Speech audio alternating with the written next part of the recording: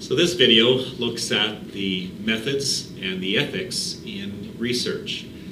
Uh, in this class, I'm going to be asking you to conduct a research project, and uh, this video just outlines some of the things that you need to think about as you uh, collect your research and your psychological research. It's important in psychology that research is conducted properly and that it's conducted appropriately. And I'll be taking a look at those two things how to conduct a proper research study and also how to conduct an appropriate research study. So first of all, uh, when we think about uh, conducting a proper research study, there are two words that come up in psychology. Those two words are reliability and validity, and I'll attempt to explain the difference between the two. A reliable experiment or a reliable research topic is one where the same results are achieved each time the research is applied or each time the research is conducted. That is considered to be a reliable research experiment. Reliability can be affected negatively or it can you can have a, a research project that isn't reliable if you have improper research methods. For instance, uh, if you are giving a research uh, survey uh, to people who are not able to read the language, uh, the results of your research would not be uh, would not be reliable because the the, the, the people were not able to read the survey that was given. So that would have an effect on the reliability.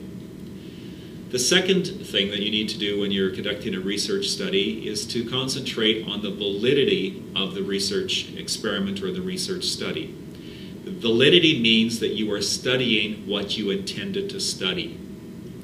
So one way that I, I uh, understand the difference between reliability and validity is to think about an archery target. And if our research project sort of is this large archery target, and that's what we're going, what's what we're trying to achieve, and if we take our bow and if we shoot an arrow at the target and we hit a particular spot on the target, uh, that's, the, that's, that's our initial spot on the target. If we took a second arrow and we shot it again and we hit exactly the same point on the target, we could say that our shooting is reliable. Similarly, in a research project in psychology, if I always hit the same spot, if I always get consistent results, I would have a reliable research project.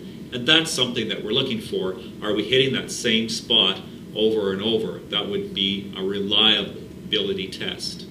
The second thing, though, is where is our target on, on the archery target, or where is our arrow going? Validity means that the arrow would be hitting the center of the target.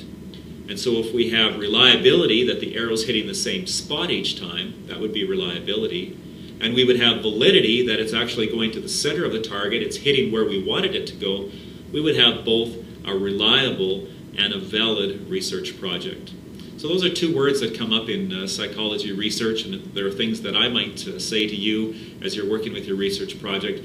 I might say, you know, the way that you've asked this question could have an effect, a negative effect on the reliability and the way that people would answer this question over and over again if this question was given. Or I may say to you, I think that the validity of your research project is either good or the validity of the project may be in question. And so those are two words that you might uh, hear me say when I'm commenting on your research project. So those are some, some issues related to how to do psychology uh, research that is proper. There are, also, there are also some issues that have to do with doing appropriate psychological research.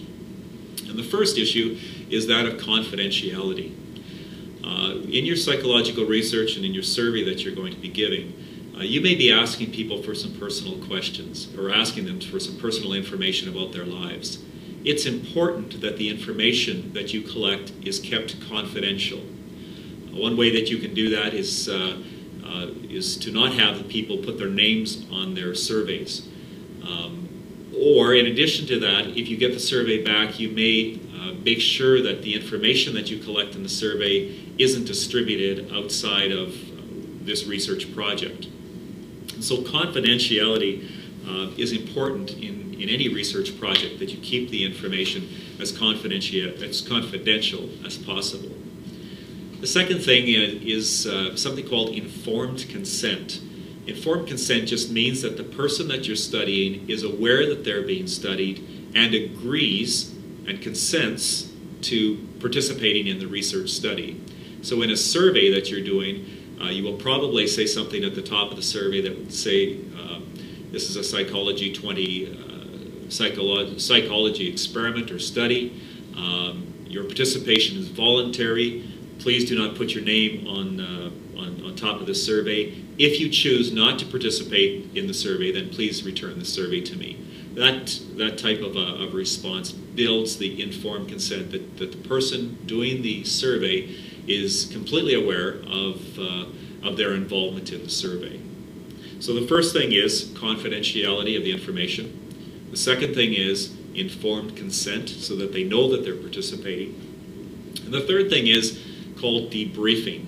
And debriefing happens at the end of the psychological study, and debriefing means that you have related the results of the study to the people that have participated in the study whenever possible. So one way that we might do that is to put our projects on display for people to see.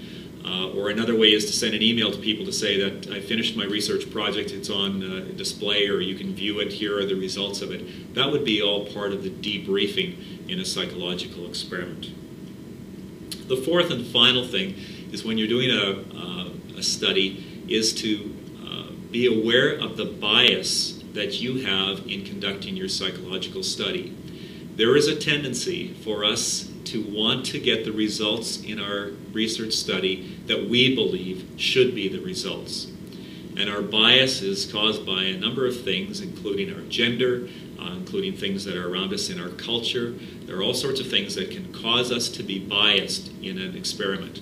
And so, as a researcher, we want to minimize the amount of bias uh, that we have in our, our psychology studies.